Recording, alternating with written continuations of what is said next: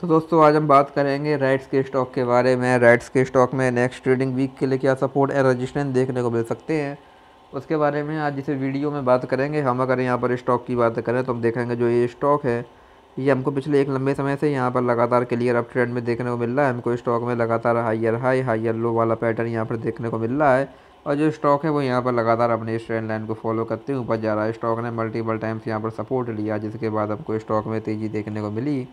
लेकिन आज हमको यहाँ पर स्टॉक में 3.21 परसेंट की यहाँ पर गिरावट भी देखने को मिली है। यहाँ पर अच्छी बात ही है। कि यहाँ पर गिरावट के बाद भी जो ये स्टॉक है, वो यहाँ पे अपने सपोर्ट के ऊपर बना हुआ है तो यहाँ से अभी अगेन हमको स्टॉक में रिकवरी भी देखने को मिल सकती है। यहाँ से अगर अब स्टॉक में रिकवरी आती है तो यहाँ से अब रिकवरी की कंडीशन में हमारे पास स्टॉक में थ्री का पहला यहाँ पर रजिस्टेंस देखने को मिलेगा। अगर स्टॉक इसको भी यहाँ ब्रेक करता है देन यहाँ से हमको स्टॉक में फोर और अगर स्टॉक ने इसको भी यहाँ ब्रेक किया देन यहाँ से हमको स्टॉक में अगेन एक बड़ी तेज़ी, एक बड़ी बाइंग यहाँ पर देखने मिल सकती है। इसके बाद हमको स्टॉक में फोर फिफ्टी देन यहाँ से हमको स्टॉक में फाइव हंड्रेड तक के लेवल्स भी यहाँ से अभी देखने को मिल सकते हैं।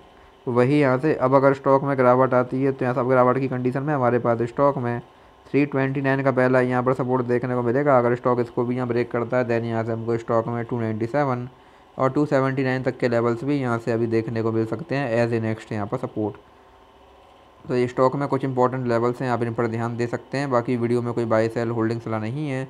वीडियो केवल एजुकेशनल पर्पज़ के लिए। धन्यवाद।